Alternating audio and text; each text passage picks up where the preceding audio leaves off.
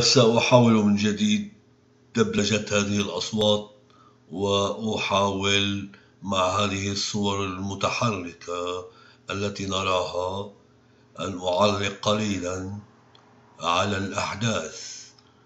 وكما ترون الكرش يهاجم ذلك الفتى. نعم ويسحب منه الصندوق.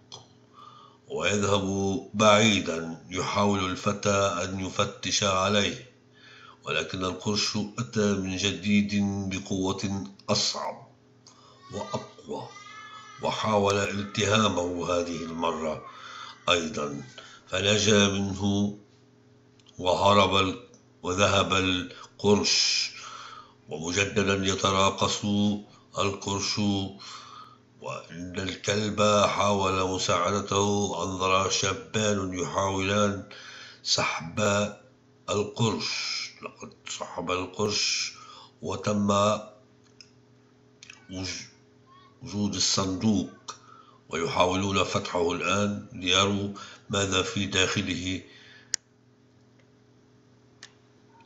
لقد وجدوا خريطة صغيرة.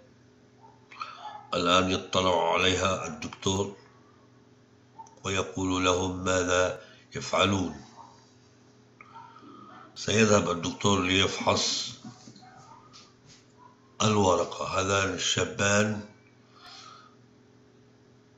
لقد حاولوا نشل شيئا ما من البحر.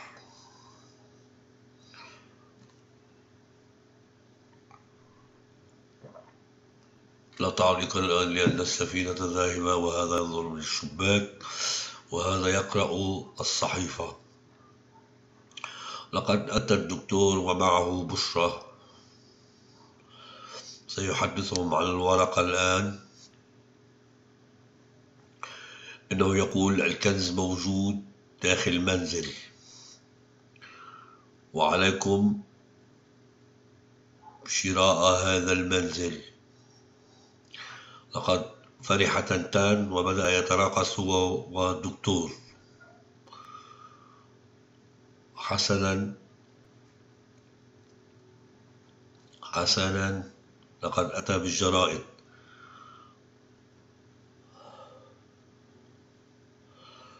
أتى بالجرائد.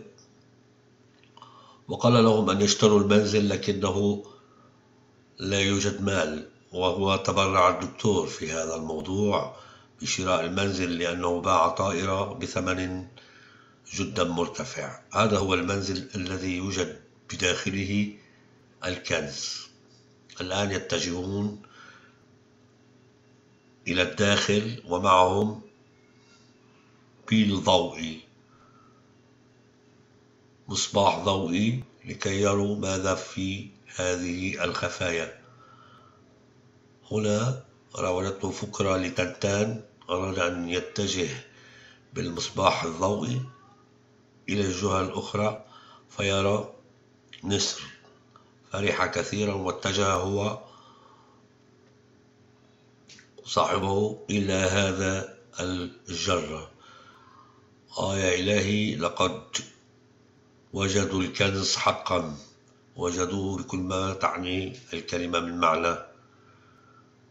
حتى الكلب فرح. الآن سيستقبلون مجددا الدكتور وهو يحمل قلادتين في يده نعم والكلب سعيد وإنهم جميعا سعداء. والآن سنرى سيارات كثيرة أمام المنزل لأنه أصبح كالمتحف. هذا قبطان السفينة. أجل انظروا إلى الجمهور ينظر إلى الأشياء بداخل الصندوق. كان هذا تعليق بدائي لنا على هذه الصور المتحركة. ودمتم وإلى اللقاء مع فيلم آخر.